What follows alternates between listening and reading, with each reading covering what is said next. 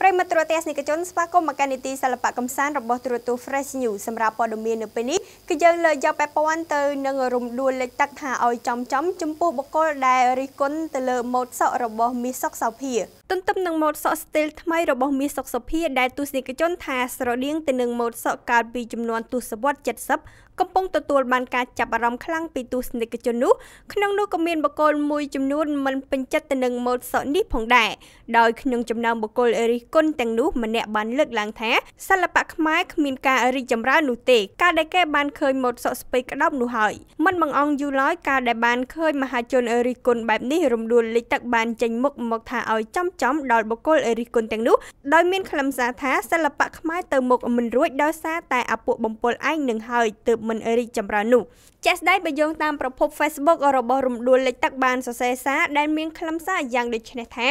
ថាចម្លងម៉ូតសក់ពីគេក៏បាន ថាធ្វើឡើងវិញក៏បានអញ្ចឹងស្រេចតែការលើកយកមកនិយាយតាបើនិយាយនឹងគិតពីចំណុចល្អនោះវានឹងទៅជារឿងល្អតែបើនិយាយហើយនិយាយពីអាក្រក់នោះវានឹងអាក្រក់ទៅតាមមាត់ដែលអត់គម្របរបស់មនុស្សមួយចំនួនត្រូវអត់បងប្អូន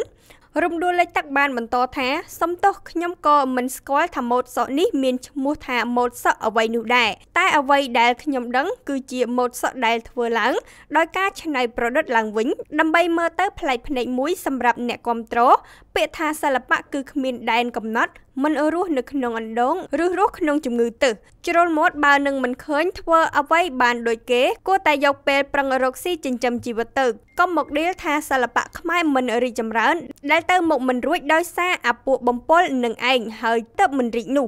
មាត់ស្រឡាញ់សិល្បៈតែមិនរួមចំណែកអីបន្តិចជាមួយសិល្បៈរួមចំណែកតែអាខាងទៅសួរថាបើពួកខ្ញុំមិនធ្វើតើលោកអស់ឯងនឹងធ្វើមែនស្អប់បំផុតអាពួកក្បាលប៉ុនល្អីនឹងស្គាល់ក្បាលស្គាល់សក់អត់បើស្គាល់ប្រាប់ផងផ្ញើជូនជាពិសេសចា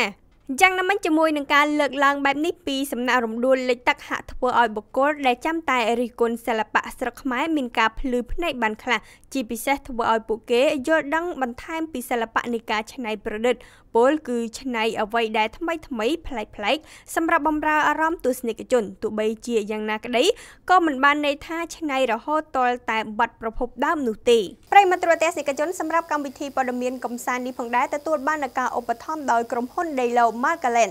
បាទជំរាបសួរពុកម៉ែបងប្អូនជាទីគោរពរបស់នៅពេលនេះខ្ញុំបានគ្រឿនសូមណែនាំបងប្អូនស្គាល់នៅគម្រោងដីឡូ Markland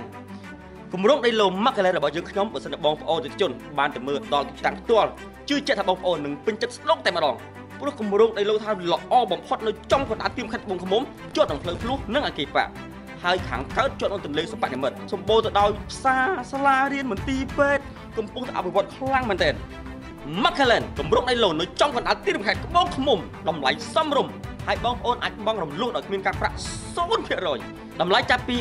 3900ដុល្លារឡើងទៅព្រមទាំងថែមជូននឹងការបញ្ចុះតម្លៃ10%ថែមទៀតផង